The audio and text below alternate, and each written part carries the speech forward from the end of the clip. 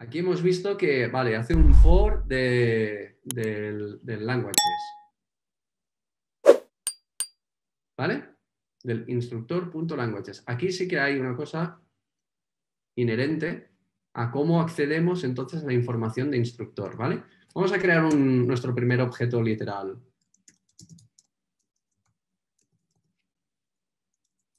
Un objeto literal, ¿vale? Hemos dicho que se tenía que escribir con las llaves, ¿vale? Y entonces a partir de ahí le tenemos que poner una clave y un valor. ¿Vale? Pues, por ejemplo, le voy a decir eh, mi objeto, eh, pues yo qué sé, name, keyboard, ¿vale? Y le voy a poner un precio 32, ¿vale? Pero si quiero que sea decimal, le voy a poner un punto. No le voy a poner una coma, le voy a poner un punto. 32,99, ¿vale? Técnicas de marketing. Acordaos siempre el punto 99, ¿vale? a sumar uno más. ¿Sí? Vale, vamos a ponerle algo más.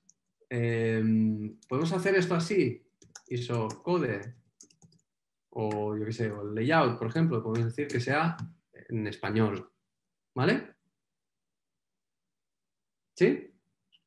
Entonces, ¿yo ahora cómo accedo a la información de cuál es el ISO code de MyObject? ¿Vale? Pues una manera muy sencilla. En otros casos es, en otros lenguajes de programación es con la flechita, así, ¿vale? En JavaScript, para acceder a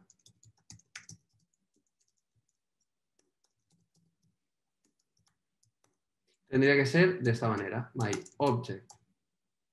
Punto, ¿vale? Y aquí ya veis, al escribir el punto aquí, el, el ID, ya me dice qué propiedades tengo disponibles. ¿Vale?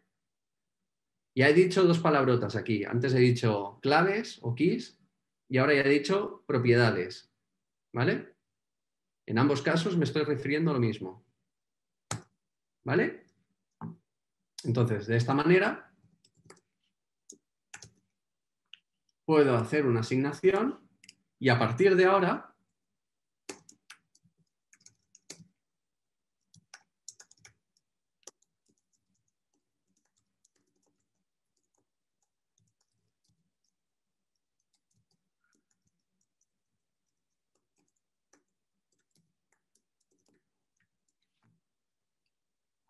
A partir de ahora, mi objeto, la propiedad de esta del isocode, vale en.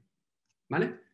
Que queremos sumarle el IVA, bueno, el IVA da igual, que queremos sumarle más precio al objeto. ¿Vale?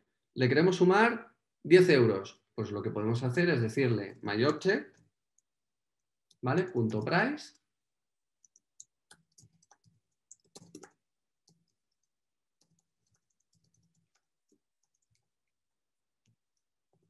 más 10. ¿Vale?